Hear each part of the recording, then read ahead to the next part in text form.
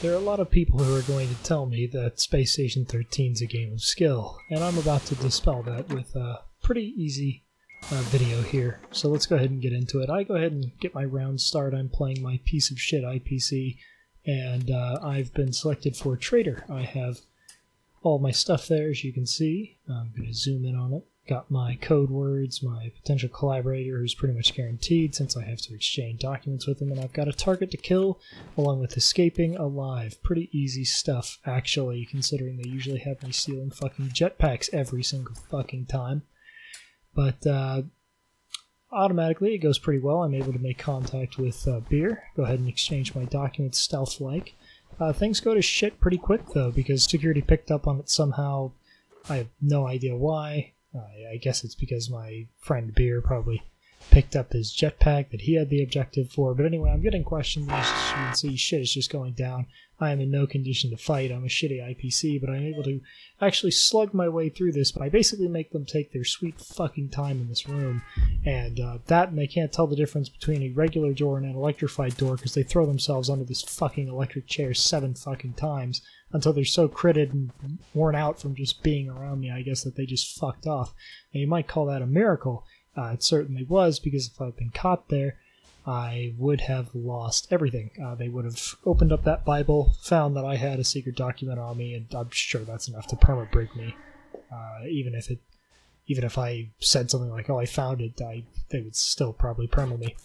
Uh, so anyway, um, I realize that I've been spared by the grace of God, and they're probably going to medbay to get fixed up. So I've got a very limited amount of time to get this shit off of me. I don't want to spend any telecrystals. I think that would be stupid. It's obviously going very well for me, and I'm uh, Psychem. I've got more than enough uh, weaponry in my arsenals. I've got heparin, a blood thinner, and fucking neurotoxins up the ass.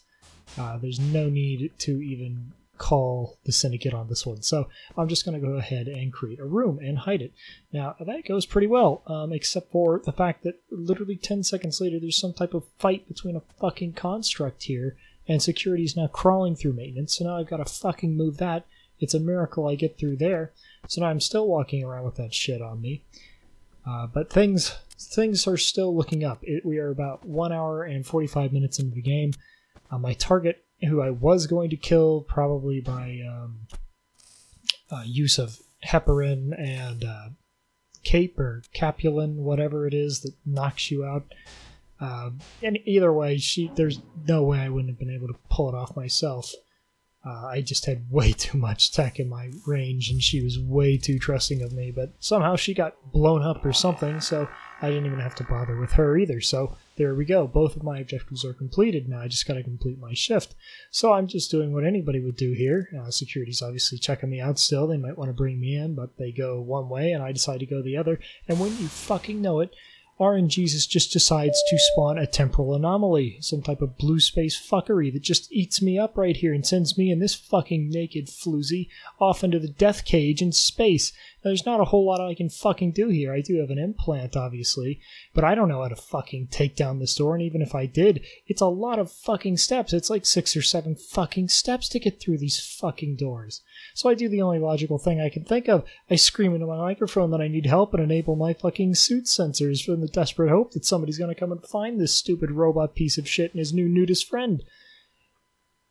But it doesn't fucking matter, because it's an hour and 50 minutes in. So right now they're more concerned with just trying to keep the incredible tide of Grey Tiders alive. These fucking half-wits from space who didn't get enough oxygen at fucking birth.